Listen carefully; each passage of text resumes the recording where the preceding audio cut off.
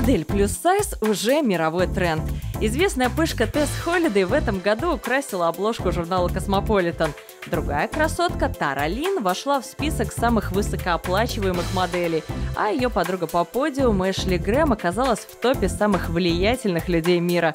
Но теперь у них появилась конкурентка из Беларуси. Меня зовут Евгения Тюленева, я модель плюс сайз и вице-мисс мира плюс сайз 2017.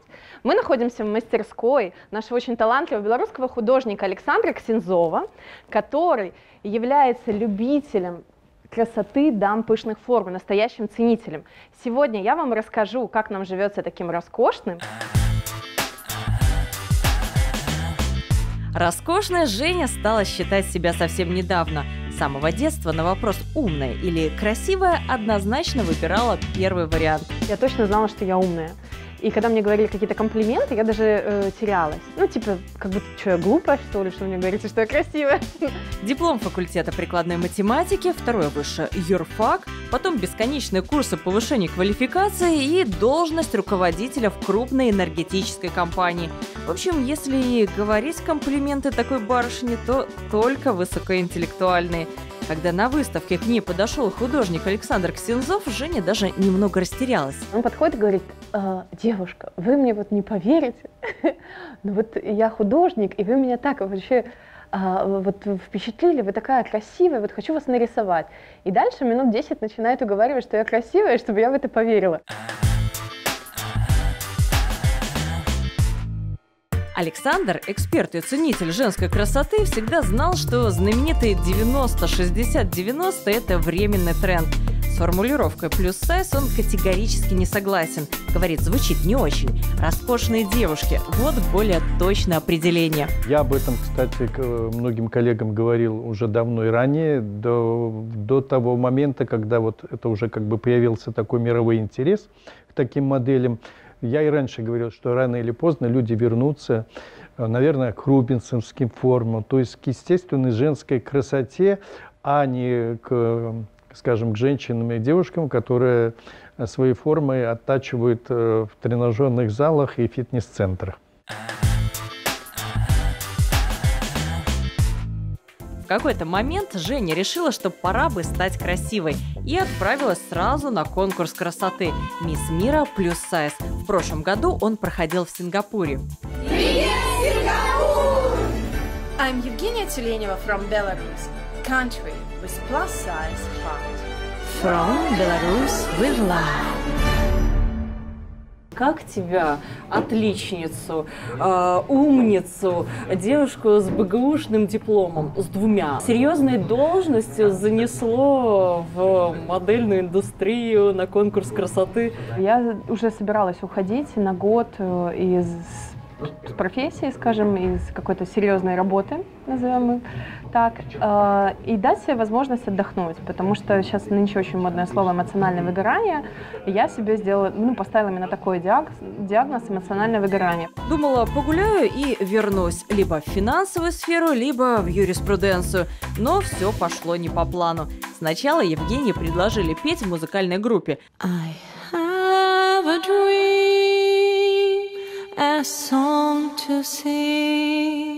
К слову, с вокалом у девушки все отлично. Ни одно студенческое мероприятие в БГУ не обходилось без ее сольного номера. Следом позвали в реалити-шоу. Но генеральный директор крупной компании, пусть и бывший, не могла решиться на такую авантюру. А потом пообещала себе, как в фильме, всегда говорить «да». Я познакомилась э, с национальным директором конкурса красоты. Она меня увидела и говорит, о, такая красивая и, и типа формах. Вот, вот, вот, вот у нас есть конкурс как раз вот этот плюс сайз, он первый раз прошел в мире.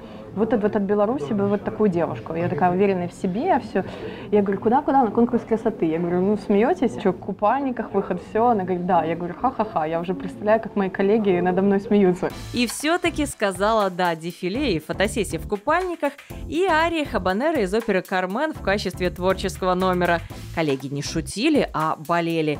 Да и, как оказалось, конкурс красоты – тот еще бизнес-проект.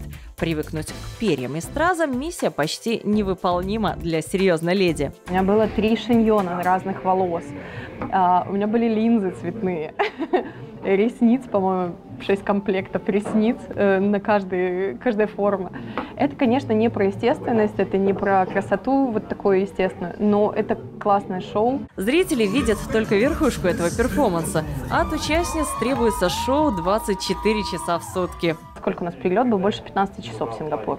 Я вышла из э, самолета вот с такими волосами, они были короткие, да, то есть со всеми ресницами, э, линзами, совсем вот, вот при полном параде, и я вышла уже на каблучищах со словами там я так проснулась. Вот такие условия конкурса, ты королева везде, вот просто ты выходишь на завтрак таком. И, конечно, за, за кадром остается, как у тебе вот это все в самолете вставляет волосы, как ты красишься. Вот. И в непонятных, совершенно не королевских условиях. И про мир во всем мире это не шутка. Мир во всем мире. Пиз.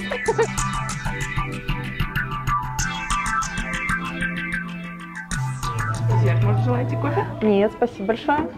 Спасибо. Слушай, ну это, наверное, такое расхожее мнение. Если ты модель плюс сайз, то можно есть все что угодно, позволять себе все что угодно, но в твоей жизни это не так, я так понимаю. А, ну, это неправда, потому что все-таки модель плюс сайз в первую очередь модель, то есть она должна что-то нести, какую-то фигуру, а, в данном случае больше форм. В общем, задача сложнее, чем у фитоняшек. Поправляться нельзя и худеть тоже. Иначе можно остаться за бортом модной индустрии. Правда, на конкурсе красоты девушку встречали вопросом «Ты почему такая худая?» Нужно было срочно исправлять ситуацию. Я на ночь ела сало, ела всякие бургеры. Ну, то есть вот все, что Ты, кстати, в Сингапур даже с собой сало привезла, хлеб да, и делала такую презентацию. Да, да, мы там, когда презентовали страну, эм, естественно, на конкурсе нужно все время поражать, и Вторая часть – это ты презентуешь не только себя, но и страну, потому что конкурс потом едет в страну. И, безусловно, э, нужно показать, что, типа, приедьте к нам все вместе, тут так классно. Заманивала не только салом. В своем презентационном ролике претендентка на корону показала все красоты страны. Не забыла и про Белазы, подписав «Мы мечтаем по-крупному». Нам показалось, что это такая игра слов. Э, на английском означало «we dream big». Какая-то крутая аналогия, да, то есть там плюс сайз и плюс сайз размер Белаза. На этом конкурсе мечта о победе не сбылась. Обошла красавица из Филиппин весом в 120 килограммов. Но после финального дефиле жизнь Евгении Тюленевой уже не будет прежней. Я бы даже, наверное, хотела реально поехать на Евровидение, а, не знаю, сняться в кино. Собираю своим внукам, что рассказать, всякие, знаете, э, э, какие-то моментики. Я прям э, представляю всегда, что когда мне приходит предложение, я такая думаю, вот, я внукам расскажу, что их бабушка... Еще одно достижение, о котором нужно будет обязательно рассказать внукам – пятикилометровый заплыв в Средиземном море. Я хотела то есть, первоначально проплыть Босфор, очень популярный, но там разлива... разлетаются слоты как пирожки, мне их не досталось. И в итоге я вначале очень расстроилась, а потом вот предложили поехать э, 5 километров от замка Ив к берегу в Марселе. Э, я согласилась, и по итогу я не жалею, потому что это сложнее, чем Босфор. Участникам нужно было повторить побег графа Монте-Кристо. Старт у замка Ив считается одним из самых зрелищных и самых сложных. К очередному вызову самой себе Евгения готовилась полгода. Мысленно благодарила родителей за то, что в детстве отдали в секцию по плаванию.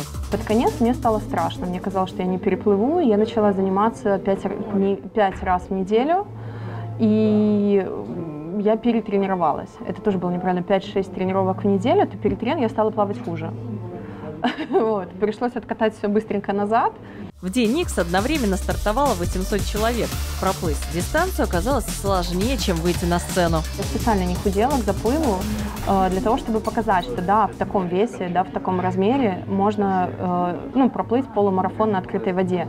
Потому что сыпалась куча, куча э, комментариев да, относительно того, что полная девушка не может быть спортивной. И вот в прошлом году мне удалось доказать, что полная девушка может быть красивой. Я решила, что в этом я докажу, что полная девушка может быть спортивной.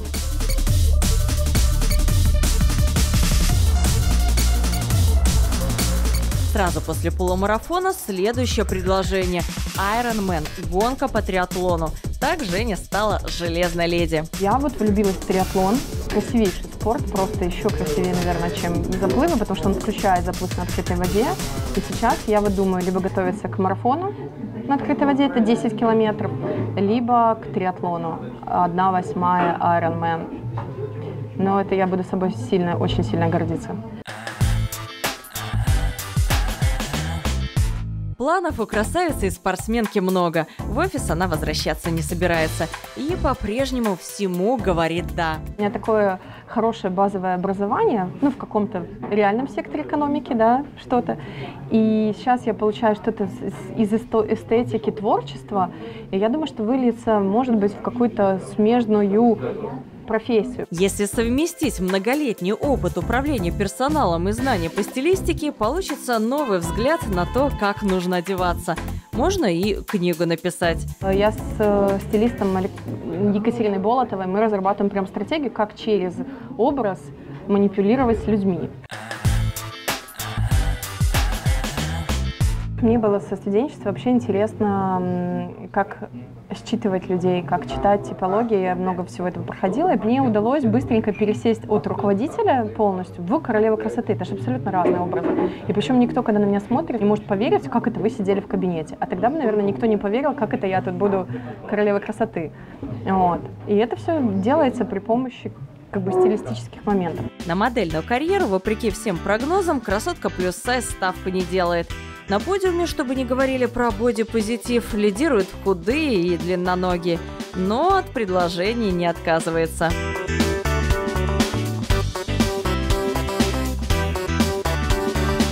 Она стала первой в Беларуси моделью плюс сайз, которая закрыла модный показ. Это считается особенно почетной миссией. Дизайнер Инесса Семченкова так вдохновилась, что решила сделать целую коллекцию для девушек с пышными формами – и потому в ближайшем будущем Евгения Тюленева не планирует садиться на жесткую диету. А так называемым хейтерам и шеймерам уже готов ответ. Я их э, перетролливаю, да, я готова над собой смеяться, да, я знаю, что я полная. Ну, что мне можно сказать? Девушка, вы полная? Я говорю, о, да вы не слепой, да.